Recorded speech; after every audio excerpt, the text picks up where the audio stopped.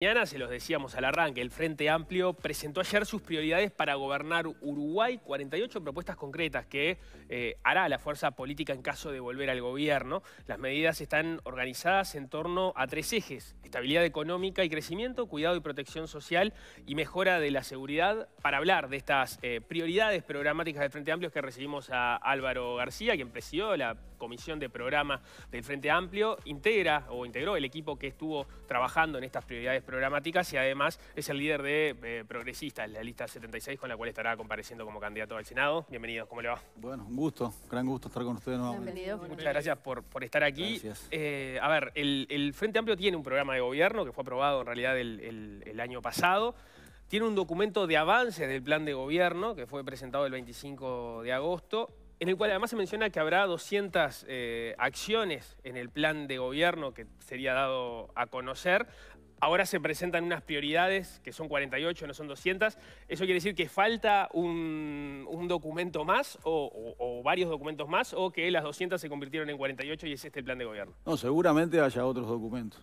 Eh, los tengo todos acá, los que nombraste. ¿Sí? Sí, porque, digamos, el Frente tiene su proceso estatutario, la comisión de programa, dos años de trabajo, miles de personas participando, Congreso de diciembre se aprobó. Después de ahí para las internas, en base a las bases programáticas, se hace una primera bajada a tierra en 33 prioridades programáticas. Y ahora en este periodo eh, se establecieron los lineamientos para el plan de gobierno, hay un documento con 200 medidas y de esas, esto es una mm, fase más de bajada a tierra, digamos, las 48 que se presentaron ayer, que además este Yamandú Orsi ya anunció que, que son este, algunas de las medidas que, se van a, plantear en este periodo de campaña. Claro, yo lo escuchaba ayer decir que eran algunas y me quedaba la duda. O sea, el documento de las 200 no es público todavía, ahora se desgajaron, digamos, 48 y entonces cabe esperar que se vayan conociendo el resto todavía hasta, octubre. Te diría que no necesariamente estas 48 son parte de las 200, digamos, estas, estas 48 son medidas bien concretas, bien bajadas a tierra, que me parece que es el, el momento adecuado en el cual este, eh, presentarlas y esperaremos algunas más. Algunas más, pero entonces el documento de las 200 va a aparecer antes de octubre. Sí, claro, sí, sí, sí. Ahí está, o sea que entonces faltan todavía no, depende de mí el momento en que se resuelva, lo resolverá el frente, por eso no te doy una certeza, pero, este, pero sí, claramente. Bien, eh, cuando dicen no depende de ustedes, em, pero, digamos, 200 propuestas son, son, muchas para, analizar, 48 también, pero cada vez falta menos para poder ir viendo qué quiere bueno, pero estas 48 tienen un nivel de concreción muy importante y, este, y ayer las, las, prácticamente el discurso llamando Orsi estuvo signado una lectura de, las 48 medidas y fue un discurso de casi media hora, por lo tanto este, allí hay, hay mucho, muchos temas importantes en tres ejes cruciales, el crecimiento del país, porque si no crecemos poca cosa se, podrá hacer o se podría hacer menos. El país tiene que retomar un crecimiento económico más potente, eso no cabe ninguna duda. Este, atender a determinadas situaciones sociales, algunas de emergencia, que, resultan cruciales, el tema de la primera infancia, el tema de la salud mental, por ejemplo, que además son bastante consensuadas a nivel del resto de los partidos, y, este, y el tema de la seguridad y la convivencia. Eh, en, línea, ahora entramos en, algunas de esas medidas concretas. Si tuviera que destacar, más allá de estos ejes que usted planteaba ahora y ponía arriba de la mesa, eh, de las medidas concretas más importantes que se pusieron ayer eh, arriba de la mesa, ¿cuál, destacaría?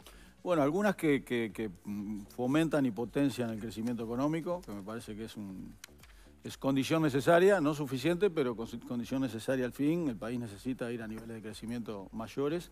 Algunas que ayudan a, a mayores niveles recaudatorios, digamos, como todo el tema de este nuevo contexto tributario mundial, la propuesta de la OCDE, el, 15% de impuesto mínimo global y la actitud que debe tener el gobierno con referencia a eso. Me llamó la atención cuando, ah. cuando Orsi lee ese punto, que concretamente decía revisar esquemas fiscales para adaptarlos a un nuevo contexto tributario mundial con una estructura de incentivos para que las empresas multinacionales paguen en Uruguay, generó un aplauso espontáneo este, entre quienes estaban allí en la Plaza de San Carlos.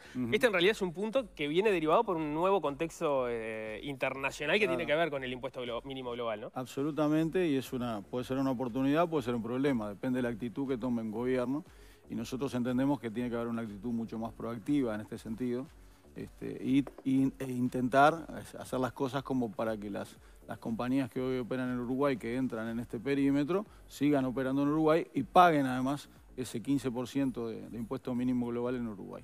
Para, para, que la gente entienda más o menos la, discusión de la que estamos hablando, porque es un tema que tiene sus complejidades y no siempre estamos hablando aquí de esto, es los nuevos lineamientos de, la OCDE prevían ya que para, para, este año algunas empresas con determinados niveles de, facturación empiecen a pagar un mínimo, un impuesto mínimo de 15%, que si no lo están pagando en, aquí, por ejemplo, si estamos hablando de multinacionales, lo van a terminar pagando en, en los otros países donde tengan, donde tengan actividad, con lo cual parte de los beneficios fiscales que da el Uruguay de repente no cobrarles impuestos porque eh, generan puestos de trabajo, implica que otro país se lo pueda estar cobrando porque igual un mínimo de 15% van a estar pagando. Esto tiene, tiene un proceso largo, ¿no? Yo cuando estuve en el Ministerio de Economía me tocó enfrentar una lista no negra, sino una lista gris en su momento, que fue bastante sorpresiva por parte de la OCDE. Hablé con el secretario general Gurría en ese momento con referencia a esto y a partir de ahí Uruguay inició un camino de tratados de, intercambio de información y tratados para evitar la doble imposición. Eh, es, complejo porque Uruguay tiene un, este, un, concepto de renta territorial aún hoy, eh, casi todo el mundo tiene un concepto de renta global, o sea que renta en cualquier lado, pero el, mensaje principal es que hoy en día estas grandes compañías mundiales eh, es muy difícil ubicarlas donde es su casa matriz, dónde está su centro de tributación principal y son muy flexibles a la hora de tratar de evitar, eludir eh, imposición. La OCDE inició todo este proceso para eh, agarrarlas de la única manera que se puede agarrar este tema, que es a nivel global.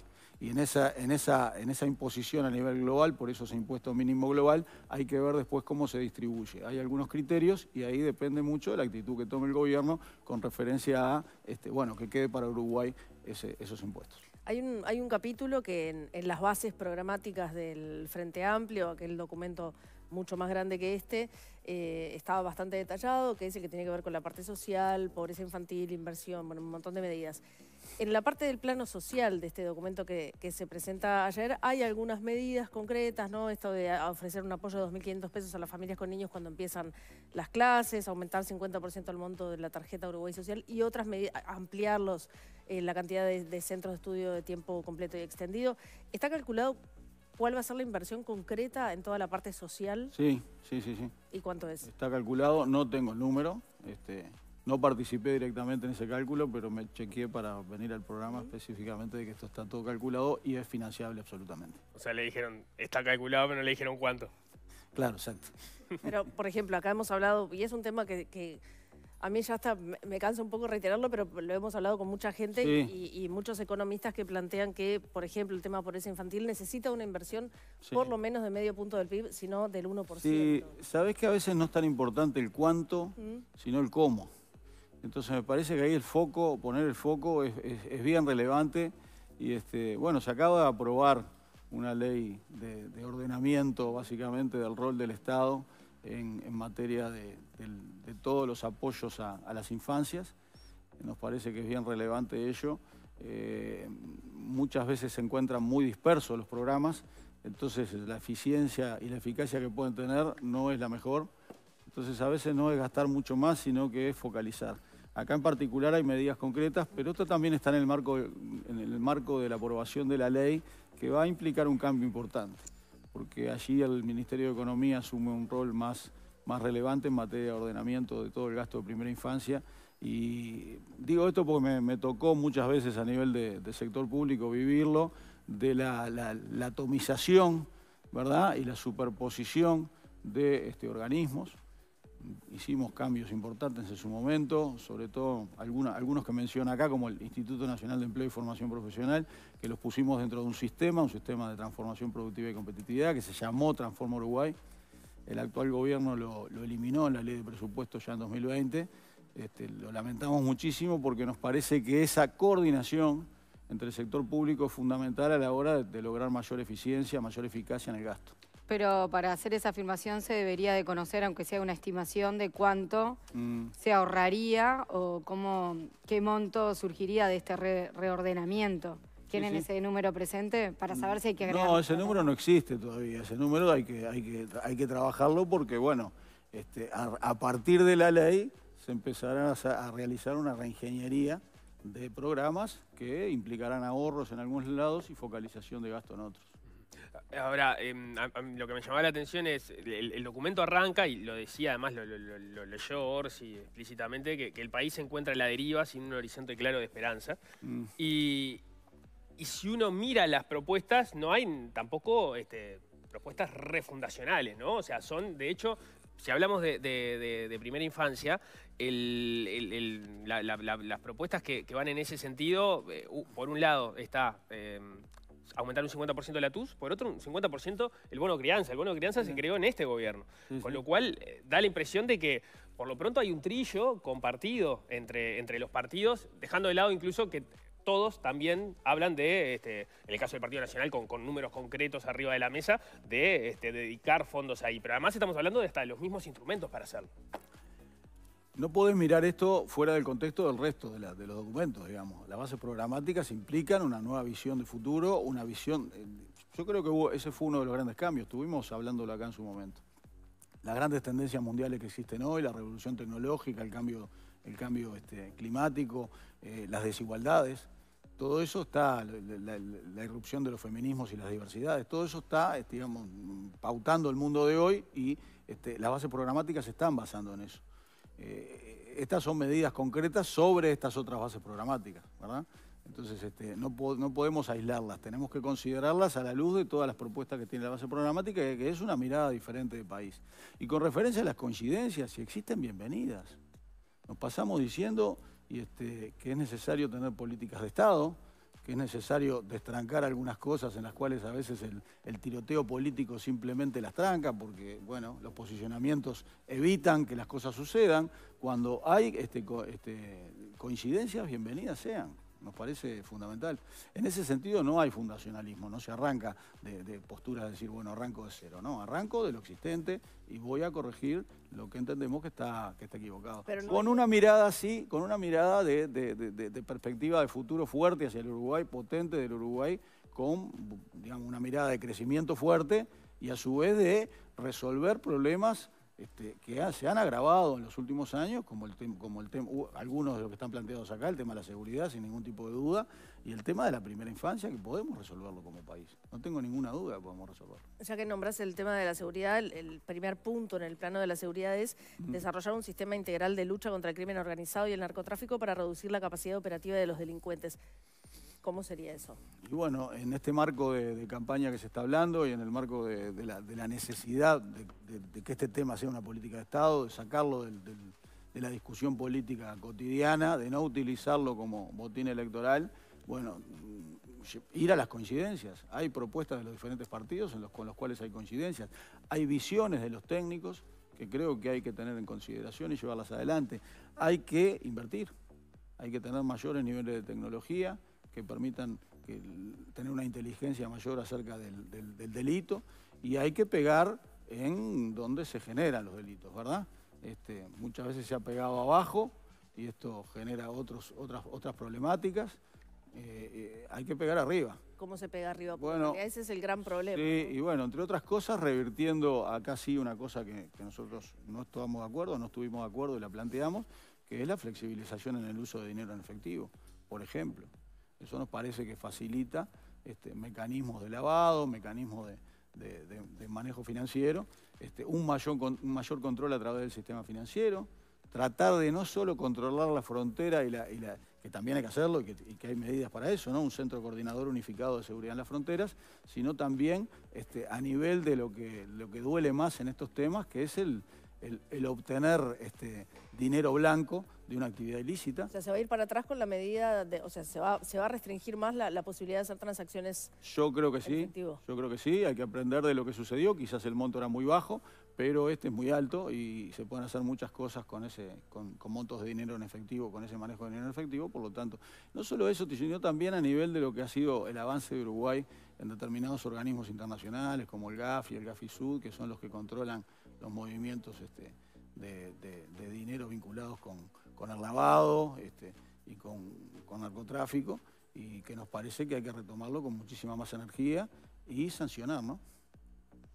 En el plano de la seguridad no hay medidas sobre el, o en, esas 48, ¿no? Sobre el tema de prisionalización, de aumentarlo, reducirla, estuvo la oposición remarcaba al principio de la campaña, luego se dejó decir que bueno que el Frente Amplio proponía liberar presos, después se desmintió eso, pero acá tampoco aparece el tema de, bueno, de, por ejemplo, fomentar las penas alternativas, en fin, ¿hacia dónde se va en ese campo? En, este, en, este, en esta oportunidad no, seguramente lo haya. Ahí creo que hay un nivel de coincidencia bastante importante y, bueno, creo que el país podría avanzar en eso, en la creación de lo que nosotros le llamamos y proponemos un Ministerio de Justicia y Derechos Humanos para separar creo que estaba hablando Delgado también de esto ayer, este, para separar lo que es la administración de todas las, de, la cárcel, digamos, de todos eh, los establecimientos penitenciarios del Ministerio del Interior y que haya una mayor especialización, eh, que es un trabajo realmente diferente, digamos, ¿no? Eh, vuelvo, un poco, vuelvo un poco al bloque económico, donde se marcó la intención de fortalecer la, la inversión para alcanzar mejores tasas de crecimiento. ¿De qué manera? ¿Cuál es la estrategia para justamente fortalecer la inversión extranjera? Yo creo que ahí hay una, revisión necesaria de la ley de inversiones. Esto no es para, para, asustarse ni para preocuparse. Digamos, el Frente cuando entró ya existía la ley de inversiones, creo que había sido aprobada en el segundo gobierno de Sanguinetti. Había tenido poco impacto y, en el 2006, 2005-2006 se establecieron una serie de cambios muy, muy agresivos con referencia a este, incentivos para eh, que, las inversiones, mayor, lograr mayores niveles de inversión en, la economía uruguaya. Se logró, hubo un incremento muy fuerte de la inversión, llegando casi en algunos años a un 30% del producto, 20 y pico largo. Eh, y bueno, creo que, habría que, retomar ese camino con eh, la luz de los lentes de 2025. y teniendo en cuenta cuáles son los incentivos correctos a colocar en un país que es bien diferente del país que era en 2005. ¿Pero eso estaría ligado a reducir, por ejemplo, la carga impositiva del empresariado? Por ejemplo, a revisar, este, y creo que está en el punto... Sí, hay una... No me quiero poner los lentes. hay un punto que dice la, revisión de lo que se llama gasto tributario hoy, que es un porcentaje importante del producto, que no quiere decir que todo sea recaudable si se evita, pero que este, son subsidios, son exoneraciones mirarlo con, el criterio de incentivo o de castigo, digamos, a actividades que no se quieran realizar o incentivo a actividades que se quieran realizar. Es, la herramienta tributaria es muy importante también desde ese punto de vista, no solo desde el punto de vista recaudatorio. ¿Cómo convive esta, esta intención con, un espíritu que marcan muchos sectores dentro del Frente Amplio, que justamente es grabar el capital? No, no, no, no tiene ninguna, ningún, ninguna relación, digamos, este, directa. Eh, el Frente gobernó 15 años y logró niveles de inversión que no se habían logrado antes, así que, digamos, y, no está planteado, digamos, ningún, ningún cambio tributario. Así que este, me parece que son cosas que se pueden realizar. Yo creo que ahí hay un nivel de diálogo que este, Yamandú Orsi en particular lo tiene. Yamandú Orsi en Canelones ha tenido diálogo con todas las con todos los estamentos de la sociedad y particularmente a nivel de los empresarios. Yo siempre pongo el ejemplo de lo que era hace 15, 20 años la Ruta 101, la Ruta 102, que era realmente un campo al lado del otro, no había demasiadas este, actividades y hoy en día, este, bueno, eso es, la ruta de la innovación, este, de la logística y nos parece que ahí hay un claro ejemplo de realización en la práctica, en ese caso en Canelones, y tenemos la expectativa de que para Uruguay, podamos dar ese nuevo impulso en este nuevo periodo con, con Yamandu Borsi como presidente. Hay un punto que habla de mejorar la calidad de vida de los, bueno, de los asalariados que ganan menos de 25 mil pesos. Creo que ese es un objetivo de todos los uruguayos prácticamente. ¿Cuál es el, el camino para lograrlo? Yo creo que tenemos que hacer una defensa, volver a hacer una defensa del poder adquisitivo de los trabajadores, y por lo tanto de los otros que tienen ingresos fijos, que son los jubilados jubiladas. ¿Pero de qué manera? Eh, y bueno, con, los consejos de salarios, este, manteniendo los consejos de salarios, pero con pautas que aseguren por lo menos no pérdida salarial. Para mí es muy relevante eso. Los 15 años de gobierno del Frente Amplio tuvieron 15 años de crecimiento de salario real y de jubilaciones reales. No es una cosa menor.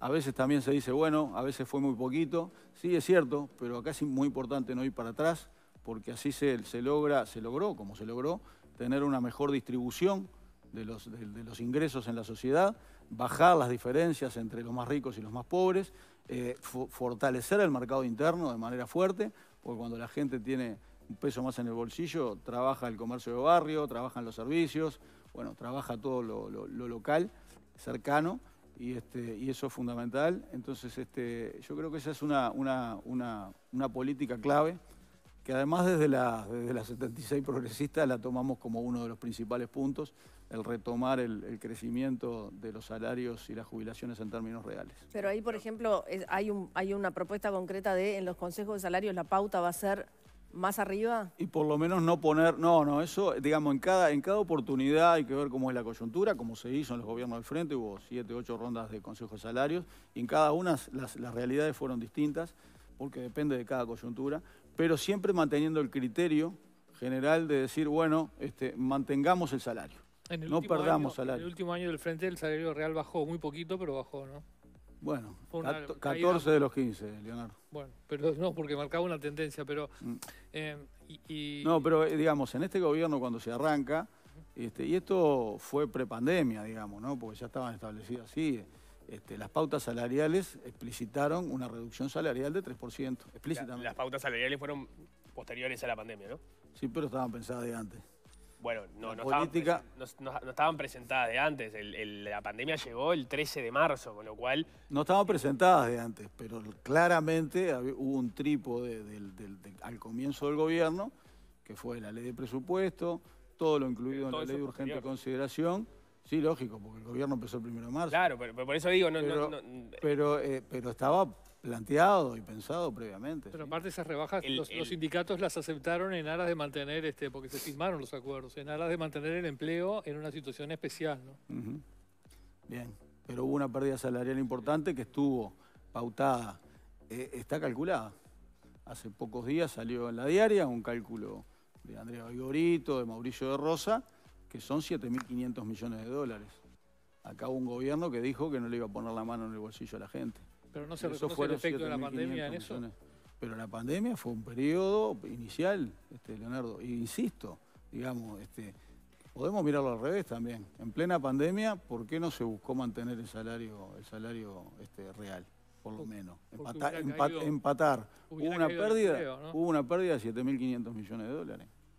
O sea, si se hubiera mantenido el salario real, o por lo menos así lo entendieron los sindicatos, hubiera caído el empleo seguramente. ¿Qué fue lo que pasó? pregunta la tiene que responder los sindicatos. Pero eso fue lo que pasó en el último, el, último periodo del gobierno del FA. ¿Qué cosa? El foco puesto en mantener el salario real puso en jaque al empleo. Por eso digo que, depende de cada coyuntura. Pero yo creo que... Ahí era una buena coyuntura comparado con la pandemia. ¿Perdón? Que esa coyuntura de, finales del gobierno del FA era relativamente buena si la comparamos con la coyuntura propia de la Bueno, más o menos, viste que tuvimos cinco años de crecimiento mucho menor en el último gobierno, ya el país suma 10 años de crecimiento bajo. Pero la pandemia este, estamos de acuerdo que fue un choque económico. Fue mucho más desfavorable. Sí, señor, tuvimos otros choques, pero digamos, este, tuvimos la crisis financiera internacional en 2008, podemos hablar largo rato de eso. Este, otras sequías también, digamos, hubo, hubo muchas este, crisis, ¿no? Todos los gobiernos tienen crisis. La pandemia fue un golpe muy fuerte, pero yo creo que esta política ya venía con, con, este, con, previsión anterior, digamos, eh, con referencia a este punto. Ahí, me, queda una duda. Para cerrar este tema del salario real. Sí capaz que la misma. Adelante. No, la propuesta de Odone de desindexar los salarios en los consejos de salarios. ¿Cómo, cómo se pega con, con este...? Yo creo, a ver, yo creo que siempre es deseable en una economía inflacionaria tratar de separar este, el, ciclo inflacionario, el bucle ese, la, bola de nieve. Eso me parece que, es la intención que, Gabriel planteó y me parece que es absolutamente compartible. Ahora, este, lo, lo, ato con lo otro que decía, digamos, me parece que tenemos que tener el cuidado de decir, vayamos monitoreando que si los contextos son más complicados, por lo menos no haya pérdida, no se vaya para atrás. porque eso es, bastante irrecuperable en materia de calidad de vida de la gente en ese periodo y además en todo lo que implica la cadena, ¿no? el mercado interno, etc. Pero la reacción a ese anuncio, a esa, esa propuesta de dones de parte de buena parte del sindicalismo fue eso implica rebaja de algunos salarios y, no estamos dispuestos a aceptarlo. No necesariamente, digamos, este, no necesariamente. Creo que hay que tener especial atención en esto. Y eh, es de difícil concreción, ¿no? ¿Verdad? Pero me parece que como expresión de, deseo, de, llevarlo adelante, me parece que tiene que ser algo que siempre es deseable que se desindexe una economía, porque si no seguís en una bola de nieve. Olesker mencionaba en relación a eso que, que, esa intención no está marcada dentro de los objetivos del Frente Amplio, dentro del programa. Bueno, sí, se puede, este, genéricamente puede, puede leerse de, las dos maneras, digamos. Yo creo que... Ese es el problema, el problema de las bases programáticas. claro, que son genéricas. Son genéricas, sí, son genéricas. Ahora, repito, yo creo que en el marco de mantenimiento de, salario real, me parece que, si se desindexara, si, se lograra mayores niveles, no, es que se diga de un día para el otro se desindexó, digamos, ¿no? Este, acá, durante muchos años, la inercia fue al revés, digamos el país empezó a tener en la década de 50, 60 mayores niveles de inflación y hubo durante años este, tasas negativas, por ejemplo, de, los bancos. Este, ¿Por qué? Porque la gente no anticipaba la inflación. Hoy en día, después de medio siglo de inflación, este, cualquiera de nosotros, ustedes, trabajadores, este, decimos, bueno, pero este, el aumento tiene que ser por encima de la inflación. Siempre se considera la inflación. Ahí está. Y eso creo que de alguna manera es positivo, pero bueno, esa inercia en algún momento sería deseable que pudiera cortarse. para pasar en limpio, entonces, el, compromiso que uno puede entender acá es que para los salarios menores a 25 mil pesos al, día de hoy, los salarios van a estar, en ese caso sí, indexados y no van a tener pérdida de, de salario. No, no es indexado, sino quizás tener en consideración los salarios más bajos, como se tuvo durante muchos tiempo, durante los, 15 años de gobierno del Frente, el tema de que los salarios mínimos crecieron más en general que los salarios generales, por un tema de, achicar la brecha, digamos, y un tema de, justicia con los, con los salarios menores. Que crezcan más que los salarios más altos, pero que estén indexados y que por lo tanto no, no haya pérdida de salario real o, no, o eso no está seguro. Por ejemplo, que en el marco de un consejo de salario se pueda tener en consideración los salarios menores. Bien. Quería, quería hacer un, pequeño este, paréntesis en, en esta parte porque me quedó pendiente cuando hablamos de la parte social porque hay bastantes medidas que apuntan a la educación, eh, con esto que decíamos, ¿no? el apoyo a las familias, aumentar las becas para estudiantes, en fin, un montón de medidas. Pero en las bases programáticas aparece, hay un compromiso que no está acá, que es eh, algo que al Frente Amplio le ha generado en otros momentos, en otros años, mucha discusión interna, mucho debate, y es el tema del 6% del PDI para la educación, 6 más 1 en este caso, que incluiría ciencia y tecnología, me llamó la atención que no estuviera en las prioridades. Por eso decía que esto hay que leerlo como una coda, como un agregado, como una bajada a tierra de este, los documentos, el documento de la base programática asociada, que está absolutamente vigente. No, no, que, está vigente sí, pero... si no está acá no quiere decir que no exista. Y no quiere decir que esto sea lo único que se vaya claro, a Claro, pero no aparece en las prioridades, en estas prioridades. Sí, son, este, sí, son primeras prioridades, mm. sí, sí. O sea, a ver la cadencia esa, el Frente Amplio demostró que tuvo durante, sus 15 años la, voluntad del incremento de los presupuestos educativos. Y esto permitió una gran cantidad de cosas, sobre todo en el primer periodo, por ejemplo, procesos de, descentralización de la universidad, que la universidad llevó inteligentemente adelante y que hoy permiten que lo que antes era, hace 20 años era el reclamo de quiero que mis hijos sigan estudiando acá, en cualquier lugar del país o en buena parte de los lugares del país, ahora sea, quiero que mis hijos después que terminen la universidad eh, trabajen acá.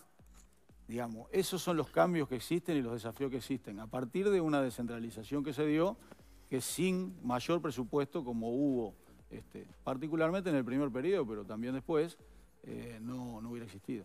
Alguien me apunta a propósito de la discusión que teníamos antes sobre, sobre salario y, bueno, la, pérdida que se dio en el contexto de pandemia, que, el, acuerdo del Consejo Superior eh, Tripartito, que es el 7 de julio de 2020, o sea, ya con la pandemia eh, corriendo, fue firmada entre otros por Fernando Pereira, actualmente presidente del Frente Amplio. ¿no? Digo por, esa pregunta de, bueno, habría que preguntarle a los sindicatos que, em, por qué firmaron algo que comprometía el, salario en, ese tramo del, periodo. Em, quiero pasar a hablar de, agua con un par de temas que, me generaron curiosidad. Uno es... Em, el, el, implementar un plan nacional de desarrollo sostenible del riego para aumentar la productividad agropecuaria y agregar valor a la producción. ¿Hay alguna eso tiene que ver con el crecimiento. Eh, ¿Hay alguna estimación de un objetivo de cuánto, cuántas hectáreas, por ejemplo, deberían quedar incluidas o, algún objetivo concreto de cómo implementarlo? A ver, esto tiene varias... La ley de riego fue aprobada, este, eh, es un tema crucial para el, para el Uruguay, tanto en el tema de abastecimiento humano del agua como del uso del agua para, para el uso productivo, teniendo un contexto de cambio climático mucho más, digamos, las sequías afectan muchísimo más que lo que afectaban en otro momento, va de suyo que, la, necesidad de riego es, extremadamente importante, hasta para mejora de productividad. eh, y el tema del cuidado de la calidad del agua, ¿no? Digamos, son, son los tres temas que se plantean acá. Este, hay varias, hay como varias este, eh, capas, digamos, ¿no? Este, probablemente haya que hacer grandes inversiones que necesariamente tendrán que ser públicas o público-privadas y con el cuidado ambiental necesario para acopiar agua en determinados lugares para que el agua que, llueva no se escurra o, se, haga de la manera más eficiente se pueda... Este, esos son un tipo de inversión. Después hay inversiones que pueden ser hasta cooperativas entre diferentes predios que estén cercanos, que puedan generar un sistema de distribución, digamos, ¿no? Pero eso dependerá de cada uno de los proyectos que se lleven adelante y cómo, cómo se encare el, plan, ¿no? Por eso, el, por eso la necesidad de un plan. fija como un objetivo 100.000 hectáreas en 2030, o sea, ampliar a 100.000 hectáreas en 2030. ¿El, Frente Amplio tiene un objetivo en esa línea o, lo, piensa? No está planteado acá, no está planteado acá. Hay otros objetivos este, marcados, como por ejemplo cuando está la propuesta del, del Instituto Nacional de Colonización, el tema de, bueno, destinar 25.000 hectáreas básicamente para este, productores lecheros, mujeres y jóvenes rurales pero digamos, este, bueno, mm, todos ponemos algún, algún, alguna medición. Bien, y para cerrar el capítulo agua, ustedes hablan de iniciar la construcción de la represa de Casupá para fortalecer el, abastecimiento de agua potable. ¿Eso es iniciar inmediatamente la construcción de Casupá? Sí, Casupá estaba pronto, ¿no? Como quedó bastante claro y bueno, se tomó la decisión. Al principio parecía que se tomaba la decisión de hacerla. Creo que hubo declaraciones del presidente de OSE en ese sentido, al principio de este gobierno y después este, se decidió otro camino. ¿Y qué pasa con Arasati? Que algo avanzado. Bueno, hay que ver los procesos que están pendientes, cómo se terminan resolviendo y ver qué decisiones se toman que sean las mejores para el país. Pero para la coalición de gobierno, para el actual gobierno, era hacer Arasati primero y una vez que esté hecha y haya recursos, hacer Casupá también. Sí, había, había, una razón, Leonardo, creo que básicamente del tema de de que no figurara este, esto como, como, déficit fiscal porque este, el otorgamiento de una garantía soberana se registra como gasto en el momento, pese a que la obra se hace después. Y eso era en el caso de Casupá, porque había un crédito de, CAF, que creo que debería estar vigente porque la obra fue estudiada, fue aprobada, eh, y, en el otro caso era una inversión privada con otra modalidad que no implicaba un una salida de flujo de fondos públicos. Creo que básicamente debe haber estado ahí la restricción y, el cambio de, criterio. y de prioridades, pero a lo que yo voy es que, más allá de que se apostó primero por Arasatí, que ahora también está parado, eh, hacer luego Casupá estaba por lo menos como una necesidad para el frente. ¿Hay que hacer las dos también o solo hay que hacer Casupá? Bueno, en principio lo que está planteado es hacer Casupá y ver, esperar a ver cómo se resuelve el tema de, de las cosas pendientes que hay de, de Hoy hablábamos de, mm, hace un ratito del tema de em, volver atrás con la, posibilidad de transferencias en efectivo, de, dinero, en fin. ¿Hay alguna otra decisión que ya tenga tomada el Frente Amplio de revertir alguna de las políticas que haya llevado adelante este gobierno? Las decisiones que se vayan tomando y las propuestas que se vayan tomando se van a ir comunicando públicamente de la manera que fueron comunicadas estas. Mm. Ahora yo ahí te anticipo que hay una visión y un criterio de que, este, porque fue muy criticado, realmente estamos este, con una visión crítica de eso, de que va, a haber que, retomar este, un mayor control, como hablábamos anteriormente. Pero será comunicado en su momento cuando haya alguna, si hay alguna otra más concreta. Bien. Em, no, no, no, son parte de las 48 personas que están ahí arriba de la mesa, pero Orsi lo ha manejado en, las últimas dos entrevistas que, dio, por lo pronto una en subrayado y otra en, la mira. lo que ha dicho concretamente es que el plebiscito de la seguridad social va en contra, o por lo menos en algunos aspectos va en contra de lo que fueron las bases programáticas aprobadas el año pasado. Vos como presidente de la comisión de programa tenés eh, una mirada sobre el asunto, más allá de que sabemos que estás en contra, pero si va en contra de las bases programáticas. No, yo creo que la mirada que tienen los compañeros que están a favor del plebiscito entiende que, son coherentes, digamos. Este, hay una discusión acerca del ahorro allí. El programa dice ahorro, no dice ahorro individual. Hay algunos compañeros que entienden que hay modalidades de ahorro colectivo y así lo interpretan. Y nosotros entendemos que el ahorro individual es una herramienta, uno de los tres pilares, este, que en la sociedad que vivimos es necesario este, considerar y es necesario mantener. Eh, Una cosa son, es el ahorro individual y otra cosa es el régimen de AFAPs, este, que creo que habría que por lo menos pegarle una, revisada. Ahí, tengo, tengo una duda y es, las bases programáticas, es verdad, ¿no? Hablan, hablan de tener un, tercer pilar, un pilar de ahorro y en todo caso revisar el lucro, no mencionan ahorro individual.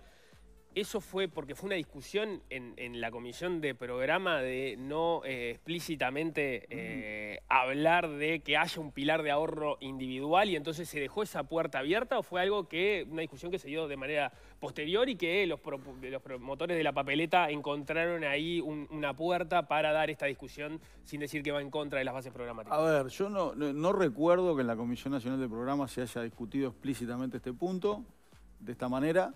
Quizás eh, se discutió en el Congreso, en la comisión correspondiente, eran nueve comisiones creo, ocho o nueve comisiones, este, así que no, no sabría responderte eso si en la comisión se discutió.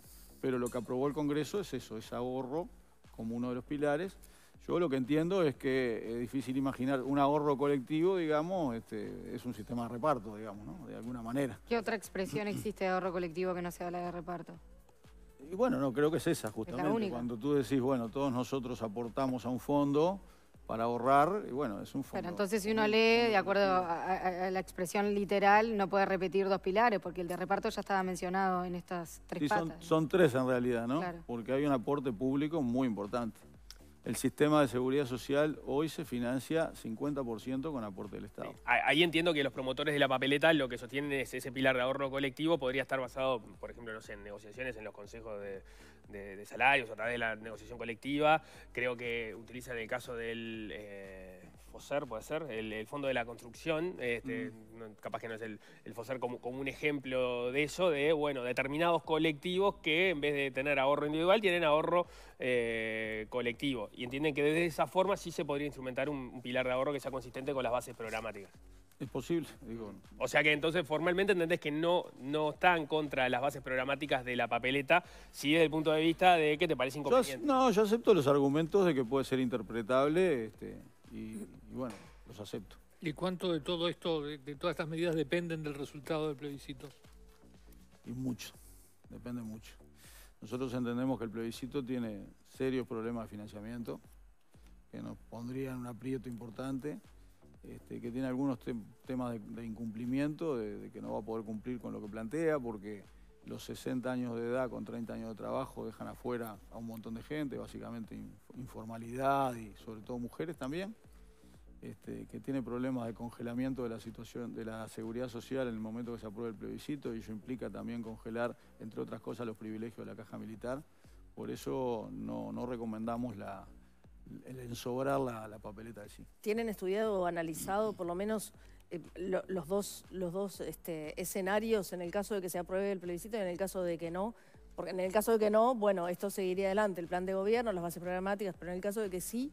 En el caso de que sí, lo único que cabe es cumplir con, el mandato popular. No, no, eso por este, supuesto, pero... Y, bueno, y corregir, la afectación económica... las cosas. Lo que yo creo que, sinceramente en, algún tiempo habría que tomar alguna corrección porque es, el impacto es demasiado grande, ¿no? ¿Qué significa en algún tiempo tomar alguna corrección? Y bueno, quizás dentro del primer gobierno o del segundo gobierno, digamos. Eh, acá hay, este, temas de, problemas de financiamiento en un mediano plazo. Este, a mí particularmente, en mi visión, no me gusta el rompimiento de reglas de juego. Si hubo una regla de juego hasta, hasta el momento actual que, han sido este, las planteadas con ahorro individual y, dinero en la cuenta de las personas. no me gustó cuando se hizo esto en Argentina por ejemplo, no me pareció, y además Argentina se vio sometida a una enorme cantidad de juicios, así que creo que los riesgos son, son muy importantes. Quiero ver si te entendí eh, con esto de, lo que planteaste recién de revisar. Vos decís que si se llega a aprobar, si sale el plebiscito, en algún periodo más adelante hay que tratar de, revertirlo. El frente, o sea, hacer otra consulta popular, por este, ejemplo. no, no, no, no. A ver, el Frente tiene planteado eh, realizar vía ley una, una nueva reforma de la seguridad social.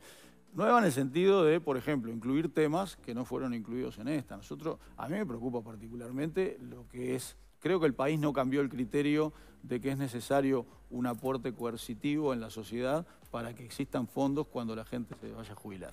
Me parece que eso viene desde el fondo de nuestra historia, es, una, es un buen valor, es una buena medida. Ahora tenés modalidades tecnológicas de muchísima gente y bienvenidas, no, no estoy hablando en contra de la tecnología, al contrario, que este, trabajan a distancia, que trabajan para el mundo. ¿Y cómo se va a resolver cuando esas personas, jóvenes básicamente hoy, se tengan que retirar? Ese tipo de cosas tenemos que, proyectar. Y esto no, no está proyectado.